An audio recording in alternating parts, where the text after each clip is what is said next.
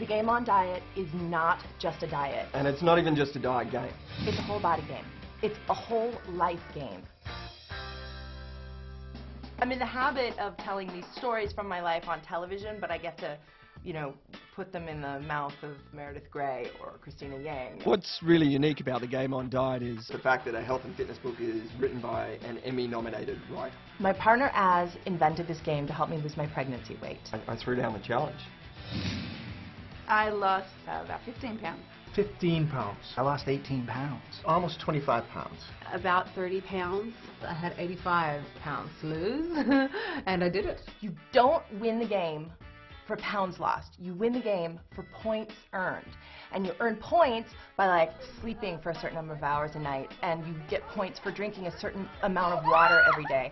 And you get points for exercising a certain amount of time every day. And for changing something about your life that seems to be unrelated to weight. Uh, my favorite thing about Game On uh, would have to be just the sense of community and fun and play. The camaraderie and the, the banter. All the emails and the phone calls of just like telling everyone else they suck and that I rock and that my team's going to kick their butt. More than actually winning, I enjoyed the, um, the psychological manipulation just up to winning. The great thing about the game to me is that if you're an insanely ruthlessly competitive person like she is, then you get to play against people and be ruthlessly competitive.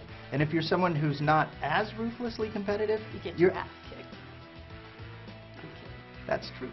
Star would say, did you stick to the game? And, you know, yes, I did. And then I run in and get on the elliptical machine real quick to do my exercises.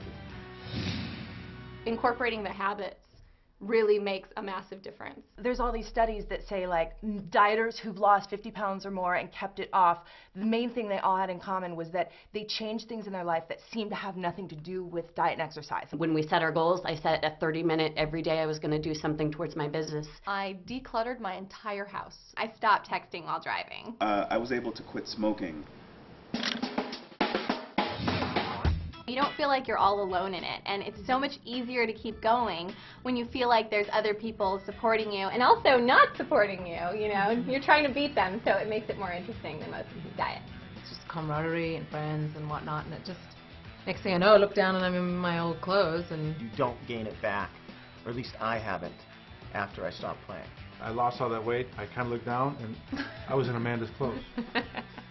but they fit, that's what really scared me. Um, it's about looking better. Yeah, it's about looking better. We all want to look better, but it's really, it's about feeling better. It's about having the power to change whatever you want to change. It's amazing. You actually look forward to getting up in the morning and with, with so much energy and, and just health. I just know that I can do anything now. I just know that I can do anything. Game on. Game on. Game on. Game on.